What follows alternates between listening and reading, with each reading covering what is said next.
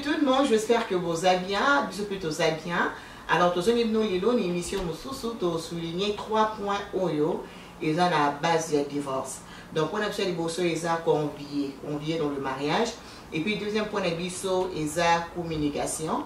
Et puis euh, troisième point na biso ezala Euh, eloko nini ozomema na mariage na yo pour que mariage na yo efonctionne alors nana invité na nga chéri na nga lelo alors todebaka lisusu na sujet oyo nga nakopesa point de vue na nga na prospective ya mwasi ye akopesa point de vue na ye na prospective ya mobali comme ça soki boza na bacommentaire botie so bacommentaire botikela so balike soki boza na basuggestion botie so basuggestion alors bobosana te bopartage émission oyo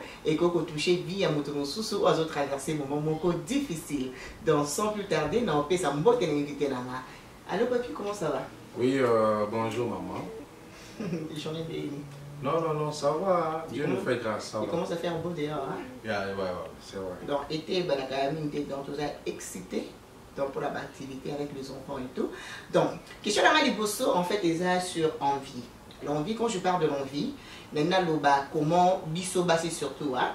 Le somme quand même, tout le monde a vraiment limité, mais c'est plus souvent nous les femmes. Euh, peut-être supposons, ok, vous visitez mon na yo, mon ninga na asombi ndako kitoko, to asombi voiture asika, asombi ba fourniture asika,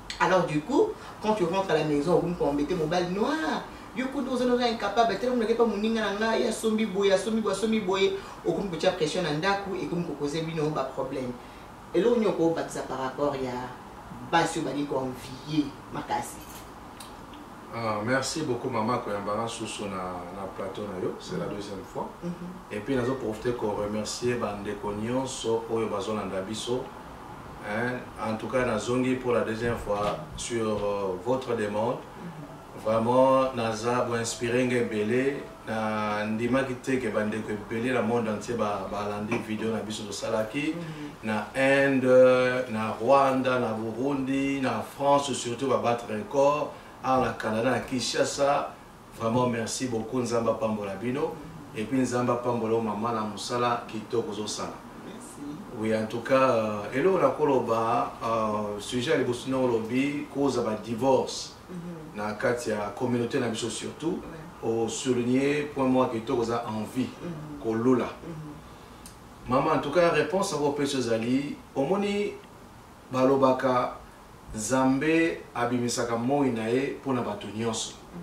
Nzambe anokisaka mbula na ye mpo na bato nyonso. Alors, euh, je pense que kolula bato eza penza idee ya malamu te. Parce que oyo bato bazosala yo mpo okoki kosala yango. Oyo baninga bazosomba yo mpo okoki kosomba yango. Alors mama, eza kaka eloko moko de fois nazomona eza Tozo confondre un peu biso batu euh, na ba couple eloko nini ezali euh, priorité et puis na besoin. Ah oui. Ozo mona. Mm -hmm. Donc euh, yo priorité na kozala shopping. Mm -hmm. Nga priorité nga ezali na sala moi ekonzo na nga bomba mambongo na nga po lobi na somba moi ndambo lopango na nga na Kinshasa par exemple. Mm -hmm. Donc euh, je pense que biso nyonso nde tozali awa toza na droit to euh, droit ya koenvie baninga mosusu te mhm. ya donc euh, moi nzambe azobimisa mpo na bato nyonso nzambe wana kosambola mpo na bato nyonso epuis nzambe apesa biso na journée toza na 24 heures mhm. ça dépend ndenge yo ozogere ozo kogere 24 heures na yo mhm. na 24 heures na yo yo olali no pongi ye olinga kolala mingi nga na bimi na ngai nasala na lemba te asikoyo ah, lobi soko omoni ngai ta mosusu nasombi mwa vere na ngai mhm. sikoyo foti ezali ya nani donc euh, mama moto nyonso soko kaka oza na courage na yo soki kaka oza na nga naloba eloko moko na vie motu na vie fo oyeba kozala na eloko babengi choix mhm. eh, fo koyeba kosala choix na vie mhm. fo ko vie ezali life is about choice mhm.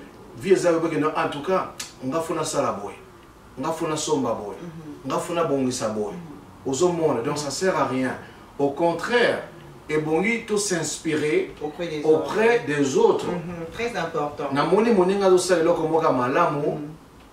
ça sert à rien natia zuwa mhm. ça sert à rien natia motema mabe ndenge okomi lelo na communauté na biso zuwa eleki mhm. motema mabe eleki mhm. tokoka so kosangana te mpona babiloko wana alors au lieu otia zuwa au lieu natia motema mabe ebongi kutu na ye pembe na moninga tuna ah ndeko na ngai eloko nini oyo osali mpo okoma boye ntango mhm. mosusu na ye na esprit ya bien mhm. okofongola nga mpe motema lobi nga mpe nakomi mpe kote mosusu biso nyonso mpe tokomi malamu nde tokomona mhm. bacommunauté mosusu ezotombwana alors euh, soki motu oyebi kaka kosalela temps na yo soki motu oza courageux na vie soki motu oyebi kosinspire auprès des autres soki motu oyebi kaka kosala différence entre besoin na priorité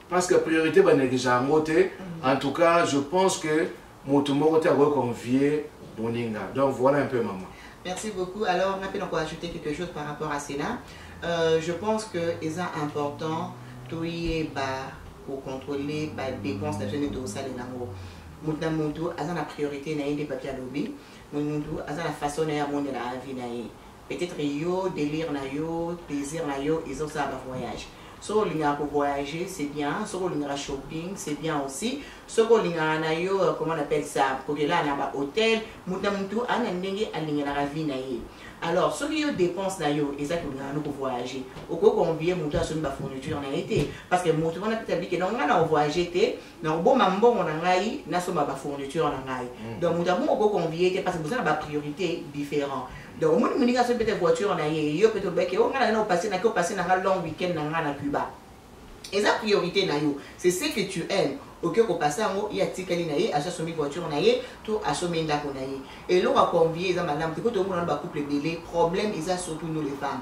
Okokee libanda okuti kaka moninga soki eloko ozongi na ndako bandi guerre na mobali oyo na ndako oyo yo kundi oza na tala oza lezi oza nokutu oza fainéant osalaka nokutu eloko te tala moninga na nga mobali na sombele mais yo oyebi ba sacrifice basali te mpo bakoma esika wana convie eza malamu te Eloko eza malamu eza okoki ko utiliser source ya inspiration ya moto mosusu mpo e aide yo okoma ndeti moto wana to modèle mais na ndenge ya compétition te compétition eza malamu te mm. tozala bamodèle okoki ya kotuna moto information ah mama comment tu as fait mpona kokoma esika oza wana eza problème te eza mm. information mais oyo ekomaka okomi donc en fait bamisusu bazalaka ye papi tellement que aye epai na yo peut akuti ndako mo façon moko to mpo osombi elamba moko boye to osombi voiture moko boye to fourniture moko omona kutu ko awa kosali kutu amitié bie bain mpo amonaka oyo lisusu te amitié kutu ekufa biloko ya konvie ememaka biso na jalousie une chose donc ememaka biso na jalousie okoki ya koyina moninga na yo likolo ya moteur ya mabe parce que asomi peut eloko moko boye ya sika biso nyonso comme papier abiki wana 24 heures ya kovivre donc soki yo 24 heures nozo utilise yango bien te na suka ozalaka téléspectateur baninga soki ozwi 24 heures na yo ozo gérer yango à ta façon ok ozotia baobjectif ozoloba ke non ngai na temps te bonani nasomba bonani nazala bonani nazala boye okokoma eloko oyo olingi kozala mais eloko nakopesa kaka conseil tozala bato moko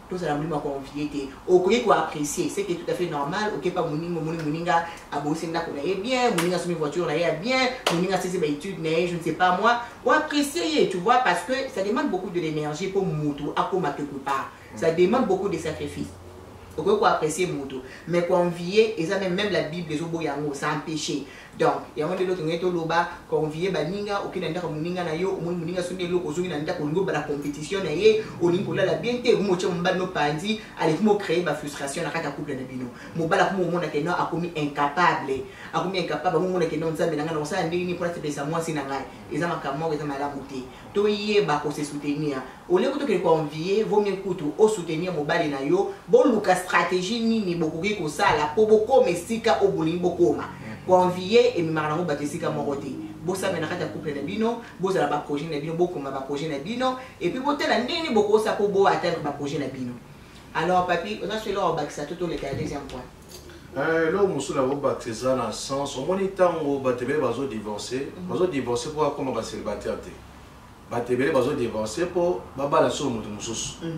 omona mobali atiki mwasi oyo akoki obala solo mwasi mosusu mhm. omona mwasi atiki mobali oyo akoki obala solo cetadi ezalaka molimo ya envie nde ezotinda biso na makambo wana alors moi je pense que mwasi ya mabe na mokili aza te mobali mabe mpe na mokili aza te eza bien ndeko na nga po ololaka basi ya bato mm -hmm. mais omona yo mpe nzambe apesi yo mwasi ya kitoko mais ozoyeba ndenge nini ya kobatela ye te ah ozoyeba ndenge nini ya kobongisa ye te mhm, mhm. ozomona mhm. nakopesa exemple mwasi na nga ndenge aza boye mwasi na nga akendaka asalaka jim ya 20 ans mwasi na nga azalaki monene mais mwasi na nga akoma kokende jim jim wana ngambo nafutaka yango napesaka mbongo mwasi na nga alata kitoko mm -hmm. nayebisaka mwasi na nga soki oyo nalingi yango te fo change napesaka ye mpe mbongo mm -hmm. parce que mibale ebele mama baza ndenge nini mm -hmm aza kaka kose plaindre mpo ya mwasi mhm. mais apesaka mwasi mbongo te ozomona mhm. yo kaka eza bien mpo ololaka basi ya baninga mhm, ozomona yeba kobongisa mwasi na yo na kati na ndako ozomona donc soki yo mpo ozozwa olio passe temps na yo ya kotalaka talaka basi ya bato ndeko na nga zwa temps na yo focus yango na mwasi na yo mhm. eloko nini nakosala mpo na mwasi na ngai mhm. ndenge nini nakosala mpe mwasi na ngai kome mpe kitoko loka basi mhm. mosusu ndenge nini nakosunga mpe mwasi na ngai adiminue ozomona parce que mama omoni de fois l'homme est appelé à changer biso bato tochangeaka ozomona ntango tobanaki na yo nazalaki na soki ya likolo me lelo ozomona ke libandi male malembe ezoya alors soki tolinganaki na ndenge ya baraison mabe mhm. enge eza malamu mingi te alors mwasi na ngai oyebisanga ah papa nalingi okataka suki boye ozomona donc fo otiaka attention epa na nga nga mpe natiaka attention epa na yo alors soki toyebi komibongisa ekozala mm. malamu mm, mm. bato mosusu bango baza mibali ya malamu mibali ya kitoko me basi bazuzu atana kobongisa mibali na bango te mibali mosusu baza na mpasi te mpena mwasi kitoko me mobali ayebi kobongisa mwasi na ye te voilà donc soki nayebi kobongisa mwasi na nga mhm. nakozala na temps ya koperde ya kolula basi ya baninga mosusu te mhm. soki mpe mama oyebi kozwa temps ya kosoki mpe ya kotala mpenza mobali na yo nayebi mwasi ya mabe na mokili azalaka te mobali ya mabe mpe na mokili mpe azalaka te mhm. donc soki toyebi kobongisa oyo nzambe apesi biso na maboko antuka mama makambo kolula ya envie ekodiminue et puis tokozala épargne na makambo etali divorce mama exactement mm. donc on a envie tosuki wana donc topesi bino bapoint nyonso j'espère que bocomprendre eloko nini toni toloba donc envie na couple eza malamu te donc il faut osunga mobali na yo to mwasi na yo mpo bokoma esika bolingi bokoma mm-hmm. alors deuxième point na ngai nalingi na souligne eza eloko tobengi eloko nini mwasi azomema ngai na kobanda nanu mwasi eloko nini ozomema na kati ya couple na yo mpo bozala bokoma esika bolingi bokoma toomona lelo basi ebele ok toye na poto poto d'abord de a eza moko ya baopportunité ebele epapi mm. eya mboka baopportunité ebele mais tomona bamama na biso surtout nos femmes moi je veux parler que de congolaise parce que je suis congolaise mm.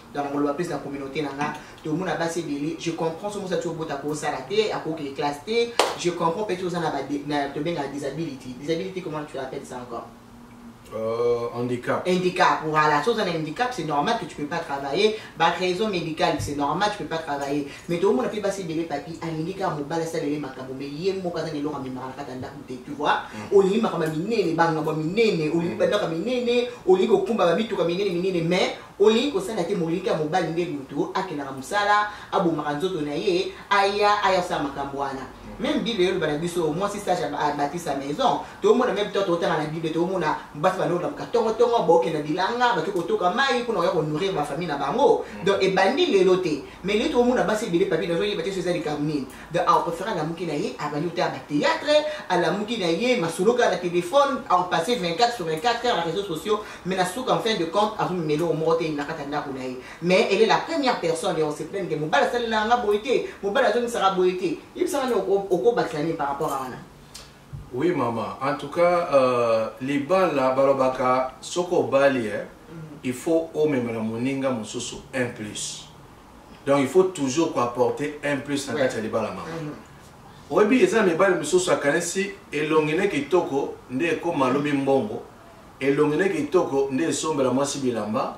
elongi ne kitoko nde ekosala ekoresoudre baproblème ya vie mm-hmm. eza mpe na basi mosusu mama aza tellement kitoko ke azokanisa ke kitoko na ye ekoma lobi biloko batie na sani balie azokanisa ke kitoko na ye ezali eko résoudre ba problème nyonso ya kati na couple non eza bongo te mhm. mama à part ba qualité ya nzoto toza na yango mhm. il faut aussi komema ba qualité mosusu bazobenga un plus mhm.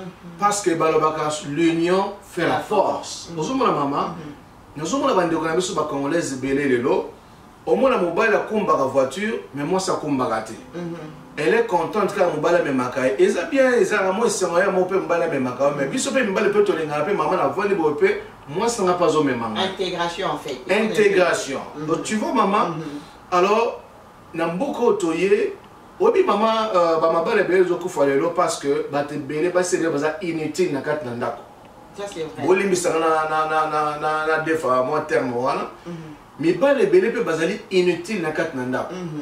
abala mwana bato mhm. alingaka kosala te mhm.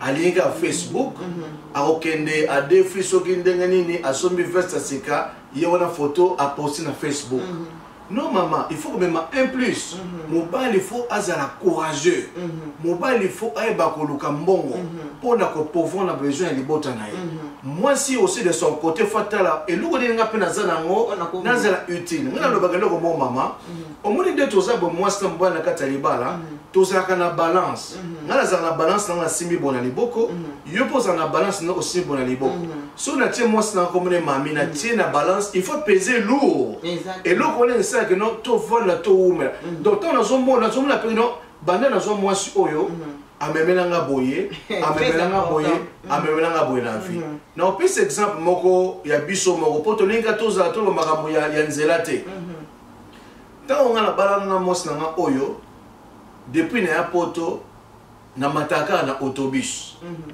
nazwaka autobus ozo mona alors depuis na bala mwasi na nga oyo eza lokola témoignage nayebi prix ya ticket ya autobus ndenge ezalaka te c'est à dire apporta aussi un plus na kati na vie na ngai donc na, na libala ezali l'union fait la force maman mm -hmm. ozo comprendre mm -hmm. donc omemi oyo omemi makanisa malamu omemi ba qualité ya malamu nga pe tosangisi ezosala force mm -hmm. lelo c'est bien ya kolula bato ebele na kati ya libanda omonaka mobali azotama voiture ya kitoko bozolula ye bozobetele maboko mm -hmm. mais peut-être force ezalaka mwasi exactement bato bayebaka te baomonaka mobali so akomi voiture bongo e eh? mm -hmm. baomonaka ke mobali naseba effort en eni ye moko mpo bomoni na voiture ngana to mwasi so bomoni azokumba voiture moko kasi ke non mwasi asali baeffort ye moko mm. et pourtant eza couple bino mibale bozo travailler dans le noir mm. bato ya libala bazomona mm. donc c'est très important maman so oye na kati ya libala mema quelque chose impacte mobali na yo koya kaka te ke no lelo mikolo oyo boexcuse nga secte eza soki ezalaka kala te sese ekoma nango moto akomema na nzela boye akola na n'importe qui n'importe comment donc il faut mobali quand même soki atali yo mwasi alobike non so natie mwasi na ngai na pese boye est ce que aso pese voilà. ok atali boye alingi abima libanda acompare amoni te non non non non non ya pas match ya pas photo voilà. donc c'est très important quand même biso tant que femme là dans la prospective na biso mwasi tant que femme nalobi te ke non mama akende université silisa université mobima bona bona boye na mboko tozali tona baopportunité ebele même une petite certificat oyo ekosala ke non okotravaille ata temps partiel ozocontribue ata kofuta bafacture na kati ya ndako mpo na koyede mobali na yo soki ozosala bongo envie ekozala moins parce que boza capable ya kosala baprojet po soki ya mobali moto azosala projet moko ekozwa nango kaka une année ekozwa bino ata 3 ans pendant ke baninga bango baoke toujours na vitesse mais bino projet ya 6 mois ekozwa bino 3 ans parce que moko adeside ke akosala te akomi ondire en fait nga na mona ngo ondire papier ezokoka transfert donc otiba baparent na yo donc okeba mobali olingi mobali akonde kozala parent na yo ce n'est pas azwa na charge azwa na charge non ça ce n'est pas non non non je suis désolé ezalaka bongo te to na mboka moko to na baopportunité ebele oyo tokoki koprofite na yango tant tokomi awa nde tozoloba ke non na lui te ke non mama akei ozwa euh, phd kende ozwa diplôme soki ya ndeni non même mboko même soki oza na diplôme te il y a toujours de travail disponible pour nous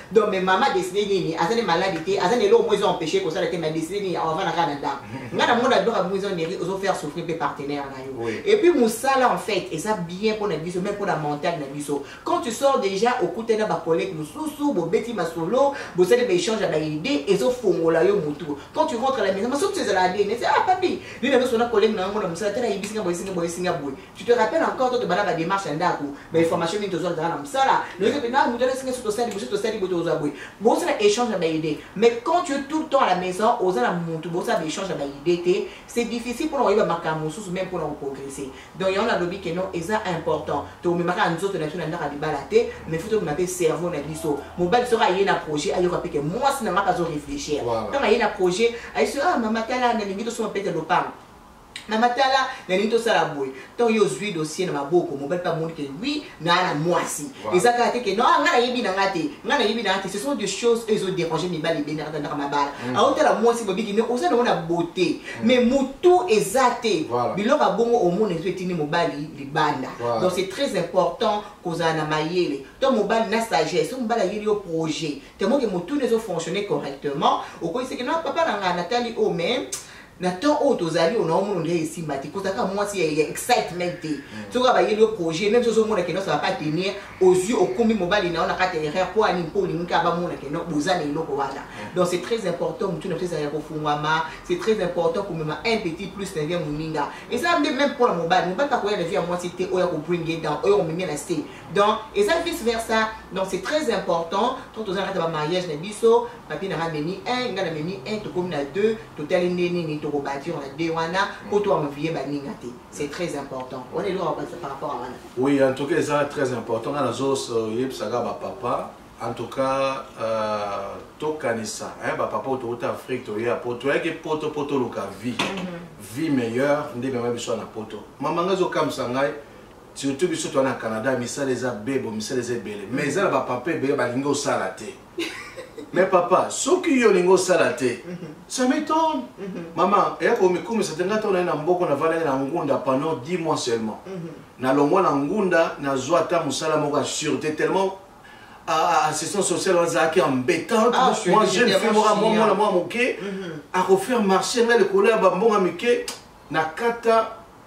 kingunda nazwa na mosala moko ya stable te epesaka courage nde naza ti lelo nazali mhm. alors bandeko na ngai bapapa totika nano mbetu totya courage mhm. eh, papa, oh, papa mobali mama ngai nalobaka eloko moko mhm. mobali fo ozala mobali mbongo ozalaka na solo te mama soki obimisi mbongo okabeli motu obi otindi na afrique bakoyeba te ke mbongo eutaki na mosala ya manufacture mbongo eutaki na mosala ya bureau mhm. bandeko na nga mibali eh, mabala misusu mpe ezokufa basi ebele bazotika mibali lelo parceke mhm. mibali balingi kosala te mibali bagoyigoyi ya kosakana te donc nayebi te ndenge basalaka bamisusu asepreferaka azelaka mbongo mpe ya mwasi Eh, bamisusu bavideo mosusu omona ya soni yango mpe omoni mpe mibali mosusu mpe basi bazo respecte bango te mais oui parce que l'homme ndenge olobi mobali mpe foza mpenza h mpenza euh, majuscule bien sûr ndenge nini yo okokosa toza mobali mais osoki koko apporte eloko na ndako te okomi odépendre na mwasi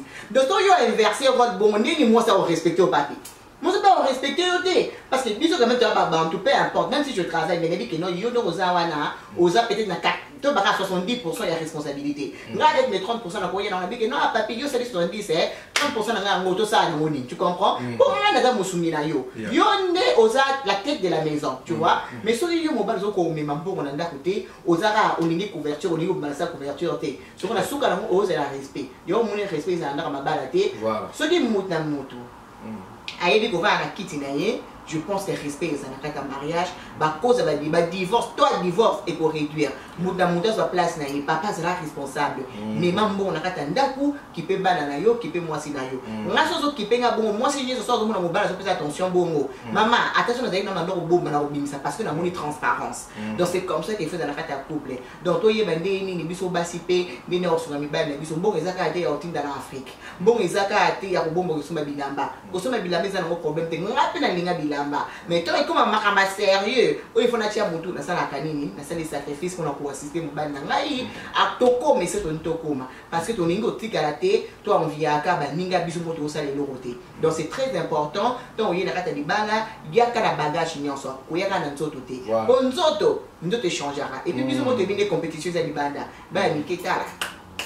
daso mobali alingi abima libanda azwa mwasi mosusu akozwa mais yo oza na ndako nzambe apesi yo deja chance ya kozala na kati ya libala yeba kosalisa intelligence yeba kosalela intelligence na yo yeba kocontribue na kati ya mariage na yo nzambe akopambola bino wana eloko ya basi ya suka to en tout cas mama eloko na yo kosukisa eza kaka ke en tout cas euh, bapapa bolamuka mm.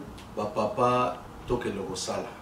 Hein? Totika omwa manga mwa sametono moto mosu aya na poto 10 ans vandaka na ngunda. Nga na mona papa mo bona yoka na ina quelque part papa mo zo babele mbongo ya colonialisme oyo uh, bayiba na Congo alors uh, bamindele fo afuta yango ndeko nanga mbongo ya ngunda ememe wapi d'ailleurs mbongo ya ngunda wana ntango baopesa mbongo yango na mboko tozali baoconsidere comme étant pauvre donc même ici okotiela biso bafoto na facebook ozopesa ozoparaître mais yeba ke le gouvernement ici azoconsidere comme étant pauvre mhm. alors euh, conseil ya pauvre ata eza malamu mama moto ayoka yango te mais conseil mais buzoba ya riche moto nyonso alingaka aprete ah, attention alors bapapa totika amoin ke ozala malade mhm. amoin ke badeklare oza na handicap moko bozopermettre yo tosala mhm. wana tocomprendre mhm. mais bapapa ebele balingi kosala te yango mais papa yo ozosala te olingi commandement mpe epai olingi kobeta mesa mama alambelo attend mama yango ozomona bamama mosusu komikitisa eza te parce que papa ozojoue role na yo te ah ah. alors nazoprofite koyebisa bandeko na ngai nyonso bakozwa chance ya kolanda video oyo ba papa tolamuka mobali zala nde mobali mobali ezalaka courage ngai naloba yango mpo na bana na nga ata kiboyi na kosala ah mpo na mwasi na nga ata kokombola balabala na kosala pourvu que nalingi mwasi na nga azanga lipa te mwasi na nga azanga elamba kolata te nalinga namona mwasi na nga bonzenga alors bonzenga ça tout a un prix à payer oui, alors soki naa na mbongo te nazosala te ndeni mwasi nga ozala kitoko boye mm. ndeni nga mona ozala malamu mm. ndeni bana nga bakozanga yogurt te mm. ozomona mama eza na bana mosusu omona bakoma lokoso me bazala na poto exactement akende esika bomoi mwana azowela zu mwana azowela mpo na nini mpo papa aza pourvoyeur te alors euh, soki moi je pense que mama mm-hmm. soki mwasi atelemi aza courageuse mobali mpo aza courageux basangisi baforce na bango mm. mama tout est possible mpo na couple wana mm. en tout cas eza susu eloko oyo ekosunga biso mpo divorce eza vraiment moseka na biso yeah, ça c'est vrai alors wana toconclure côté oyo etali eloko nini okomema na kati ya couple na yo mpo couple na yo eprospere alors tokokota côté communication alors pepi toomona bacouple ebele bana baproblème makasi neti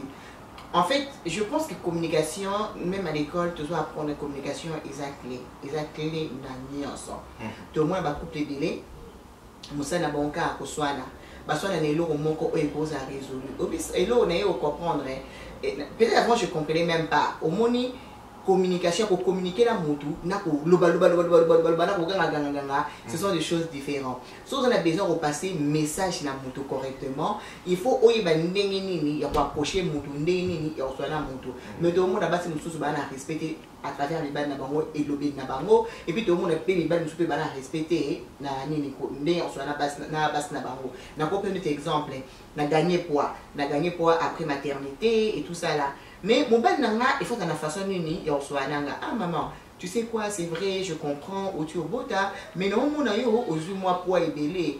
Na opresse yo te, mais nani quand même, hein, osala mwa effort okitisa poids parce que ngai nani komona yo boye te. Omoni olobi na nga na voix moko eza nini, eza tendre, tout ça là, omotive nga. Mais par mobali mosusu aoya oyebisa yo papi. Eh! Te te te nga monene boye te.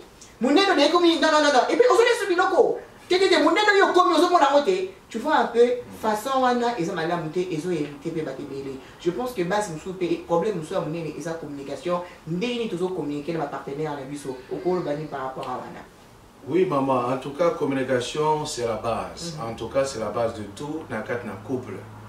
Oyebi couple oyo bako ba se communiquera te baza pembeni ya, ya divorce. Mm -hmm. Mais euh, nde tolobi toza nouvelle génération, toza pour respect, toza mm -hmm. pour euh, considération dans le mariage. Mm -hmm. Maman, eloko ebele esalaka bato ebele euh, bakoka ko se communiquer te et puis bato mosusu bayebi mpe comment ko se communiquer te. Mm -hmm. nalobaki na video précédente que euh, mwasi mama komikitisa eyaka na vocation te mhm.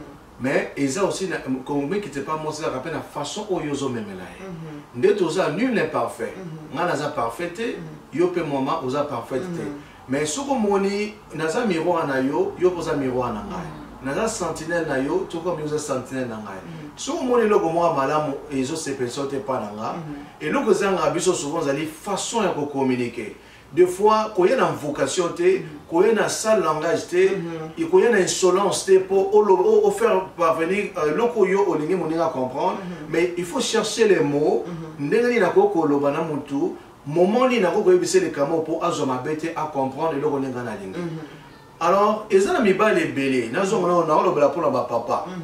mibali ebele azovanda na mwasi mwasi azosala makambo eza malamu te mhm. azomona mhm. mais azokoka koloba te nga personnellement eza eloko ederange yanga mingi epa bapapa ozo mwana comment yo moto obalaki mwasi mwasi no azosala eloko moko eza malamu te mais oza na courage te otalisa mwasi na yo eloko nini azosala oyo ozosepela na yango te exactement nayebi nazalaki na moninga moko mokolo moko boye moninga moko boye mwasi na ye aboti baza na bana un couple baza na bana alors mwasi na ye abotaki sika mwana akokisi un mois mama akomoyela ye masolo ono faut nakende mbangu mbangu kinshasa nake otala mama comme ça yo otikala na bana mhm.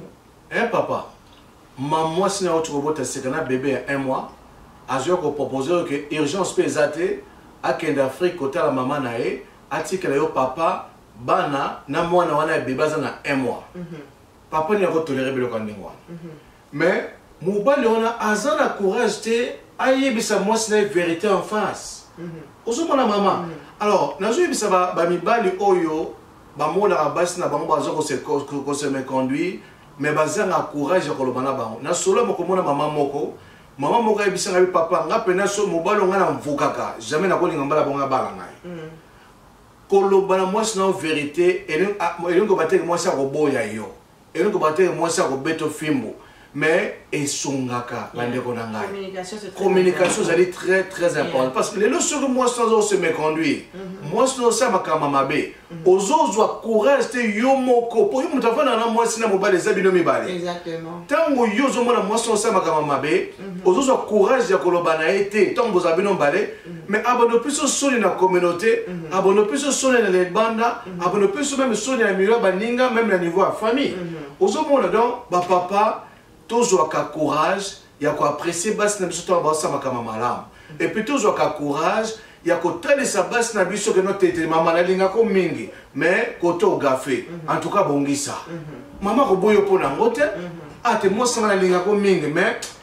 biloko olambi lelo mpenza a mhm. ah, mame rate namoni mpena olekisaki mwa mungwa ozomona donc ololiaka mungwa na soni mhm. yebisa mwasi na yo ntango ozopesa conseil ozokomekela ozoede mpe mwasi na yo ah, na libanda mpe bato bazona kolula mwasi na yo mpo oza mosala oyo ezosala donc voilà mama ya donc euh, tosololi tocouvrir mpe communication alors communication eza clé ya makambo nyonso il faut koyeba kocommunique communique communication eza na badomaine nyonso na baaspect nyonso comment mwasi azo se comporter comment mobali azo se comporter tout à jaka mwasi okufisa mobali no soni soki okomoni monoko boye mobali na yo akufi soni eza malamu te il faut toyeba ndenge nini ya kocommuniquer meme to toza na miso ya bato ndenge nini ya kose comporter eza très important parce que babilo mosusu tosalaka ovandi na kopa bato bozoloba mobali akufi soni to mwasi na yo akufi soni mhm. donc communication meme na ndako c'est très important quand il y a un problème il faut boyeba kovanda tete à tete bozwi likambo tie na mesa bosololi yango bomeki koresoudre baproblème na bino nde nalobaki voix ejoua role monene na kati ya communication mm-hmm. quand ya un problème façon ya kopase message na yo il faut oyeba ndenge ya kopasela yango avec une voix douce avec beaucoup de tendresse et beaucoup d'amour mm-hmm. c'est très important mais soki ozoya na ndenge ya kogaze moninga du coup mm-hmm. matoi na ngai ekoma bouche na oyoka sur te naomona kaka koganga na yo nde ozoganga wana donc eza important toyeba kocommuniquer même so tovandi na miso ya bato omona mibali mosusu bazalaka très respectueux omona so avandi na miso ya bato pete mwasi nazolobaloba mingi alobaka maya na sens te mobali omona akufi soni mais ata capable te oswana mwasi na ndako mama na nga oyo osalaki na kosala asuru te mm. epuis omona mobali akoma osala nini amotonga mwasi na ye tu vois mm. biloko toyoboya nde yango wana il faut toyeba koregle baproblème ezalaka ta ndako kotonga mwasi na yo to kotonga mobali na yo eza na ntina moko te eza mpe vice versa okoma na mobali na yo boke esika moko boye mobali bilobaloba bilobaloba aokotisa yo soni amela ah, radio mais aolobi makambo mpe pete ya moko eya na nzela te mais soki boswana na ndako papa na ngai soki tokomi na miso ya bato se mm. comporte boye ezala boye ezala boye eza très important eloko nyonso wana efe ya partie ya communication bato moi biso bato ozala libandi tolaka ah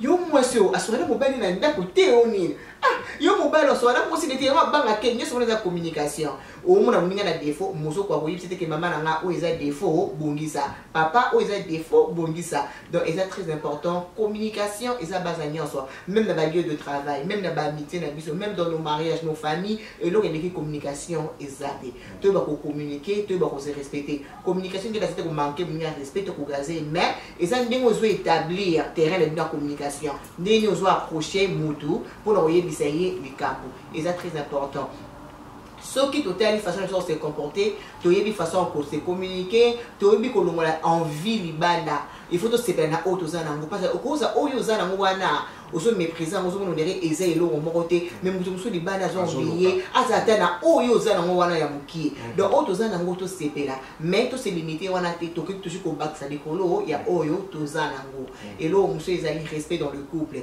il faut toyeba kose respecter respect eza très important biso ere mo mpe basi tozala mwa baimpoli